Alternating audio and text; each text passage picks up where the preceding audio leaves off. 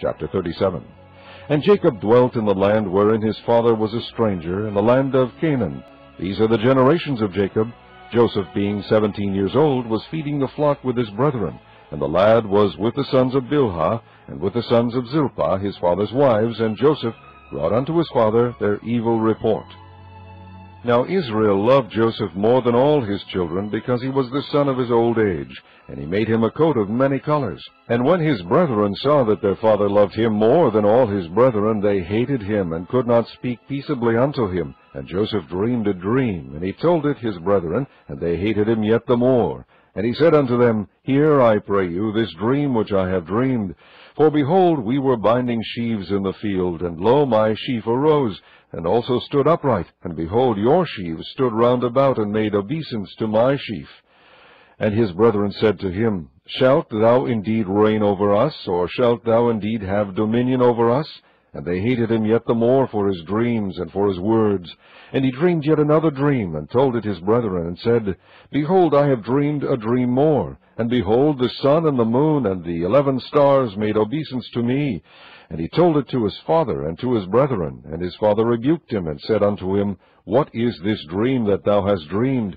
Shall I and thy mother and thy brethren indeed come to bow down ourselves to thee to the earth? And his brethren envied him, but his father observed the saying. And his brethren went to feed their father's flocks in Shechem. And Israel said unto Joseph, Do not thy brethren feed the flock in Shechem? Come, and I will send thee unto them. And he said to him, Here am I. And he said to him, Go, I pray thee, see whether it be well with thy brethren, and well with the flocks, and bring me word again. So he sent him out of the vale of Hebron, and he came to Shechem. And a certain man found him, and behold, he was wandering in the field. And the man asked him, saying, What seekest thou? And he said, I seek my brethren. Tell me, I pray thee, where they feed their flocks. And the man said, They are departed hence, for I heard them say, Let us go to Dothan. And Joseph went after his brethren, and found them in Dothan. And when they saw him afar off, even before he came near unto them, they conspired against him to slay him. And they said one to another, Behold, this dreamer cometh. Come now, therefore, and let us slay him, and cast him into some pit, and we will say, Some evil beast hath devoured him, and we shall see what will become of his dreams. And Reuben heard it, and he delivered him out of their hands, and said, Let us not kill him. And Reuben said unto them, Shed no blood, but cast him into this pit that is in the wilderness, and lay no hand upon him, that he might rid him out of their hands, to deliver him to his father again. And it came to pass, when Joseph was come unto his brethren, that they stripped Joseph out of his coat, his coat of many colors that was on him. And they took him and cast him into a pit. And the pit was empty, there was no water in it. And they sat down to eat bread, and they lifted up their eyes and looked, and behold, a company of Ishmaelites came from Gilead with their camels, bearing spicery and balm of myrrh, going to carry it down to Egypt. And Judah said unto his brethren, What profit is it if we slay our brother and conceal his blood? Come, and let us sell him to the Ishmaelites, and let not our hand be upon him, for he is our brother and our flesh. And his brethren were content. Then there passed by Midianites merchantmen, and they drew and lifted up Joseph out of the pit, and sold Joseph to the Ishmaelites for twenty pieces of silver. And they brought Joseph into Egypt. And Reuben returned unto the pit, and behold, Joseph was not in the pit, and he rent his clothes. And he returned unto his brethren, and said, The child is not, and I, whither shall I go? And they took Joseph's coat, and killed a kid of the goats, and dipped the coat in the blood. And they sent the coat of many colors, and they brought it to their father, and said, This have we found. Know now whether it be thy son's coat or no. And he knew it, and said, It is my son's coat. An evil beast hath devoured him. Joseph is without doubt rent in pieces. And Jacob rent his clothes, and put sackcloth upon his loins, and mourned for his son many days. And all his sons and all his daughters rose up to comfort him. But he refused to be comforted, and he said, For I will go down into the grave unto my son mourning. Thus his father wept for him. And the Midianites sold him into Egypt unto Potiphar, an officer of Pharaoh's, and captain of the guard. Chapter 38 And it came to pass at that time that Judah went down from his brethren, and turned into a certain Adullamite, whose name was Hirah. And Judah saw there a daughter of a certain Canaanite, whose name was Shua. And he took her, and went in unto her. And she conceived and bare a son, and he called his name Er. And she conceived again, and bare a son, and she called his name Onan. And she yet again conceived and bare a son, and called his name Shelah. And he was a Chezib when she bare him. And Judah took a wife for Er, his firstborn, whose name was Tamar. And Er, Judah's firstborn, was wicked in the sight of the Lord, and the Lord slew him. And Judah said unto Onan, Go in unto thy brother's wife, and marry her, and raise up seed to thy brother. And Onan knew that the seed should not be his, and it came to pass, when he went in unto his brother's wife, that he spilled it on the ground, lest that he should give seed to his brother. And the thing which he did displeased the Lord, wherefore he slew him also. Then said Judah to Tamar his daughter-in-law, Remain a widow at thy father's house, till Shelah my son be grown. For he said, Lest peradventure he die also, as his brethren did. And Tamar went and dwelt in her father's house. And in process of time the daughter of Shua, Judah's wife, died.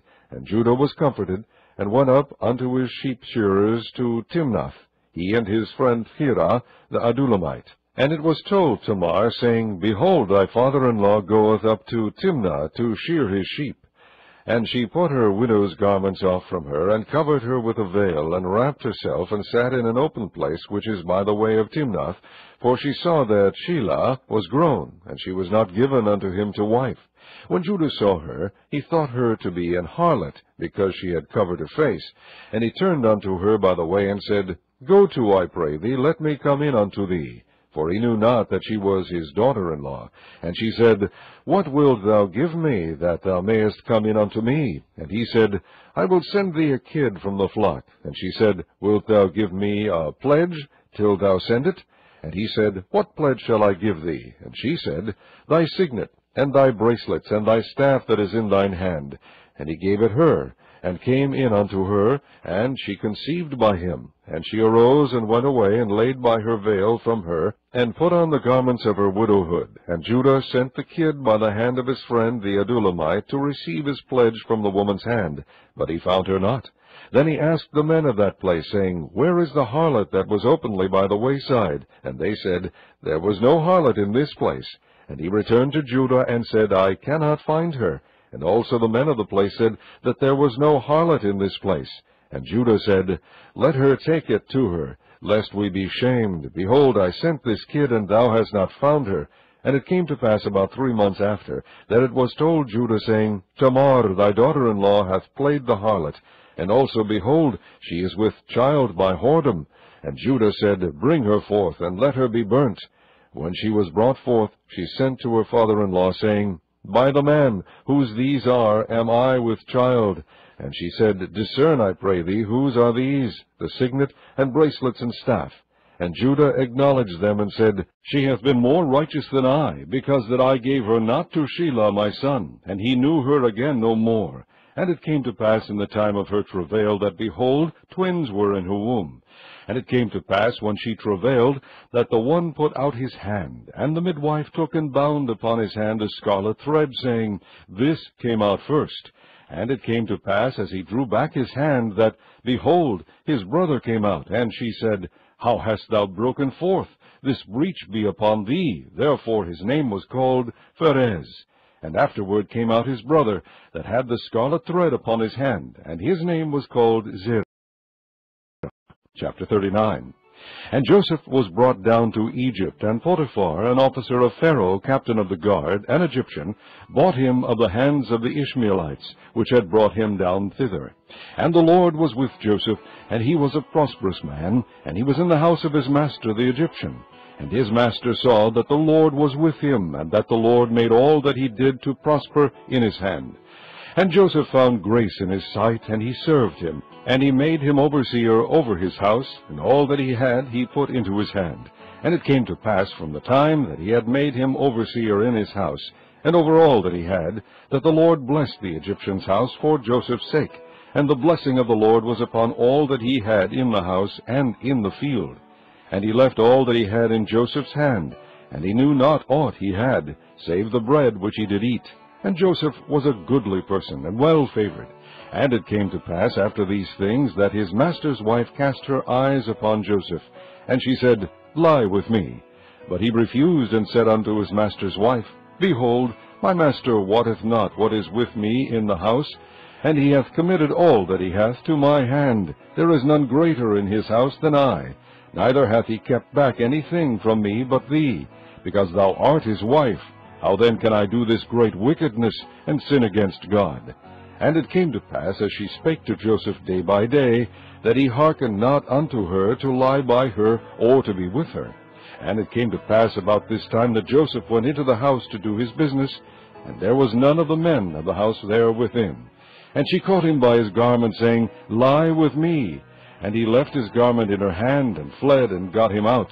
And it came to pass, when she saw that he had left his garment in her hand, and was fled forth, that she called unto the men of her house, and spake unto them, saying, See, he hath brought in an Hebrew unto us, to mock us. He came in unto me to lie with me, and I cried with a loud voice. And it came to pass, when he heard that I lifted up my voice and cried, that he left his garment with me, and fled, and got him out. And she laid up his garment by her, until his lord came home. And she spake unto him according to these words, saying, The Hebrew servant which thou hast brought unto us came in unto me to mock me. And it came to pass, as I lifted up my voice and cried, that he left his garment with me, and fled out. And it came to pass, when his master heard the words of his wife, which she spake unto him, saying, After this manner did thy servant to me, that his wrath was kindled. And Joseph's master took him, and put him into the prison, a place where the king's prisoners were bound. And he was there in the prison. But the Lord was with Joseph, and shewed him mercy, and gave him favor in the sight of the keeper of the prison. And the keeper of the prison committed to Joseph's hand all the prisoners that were in the prison. And whatsoever they did there, he was the doer of it. The keeper of the prison looked not to anything that was under his hand, because the Lord was with him, and that which he did, the Lord made it to prosper.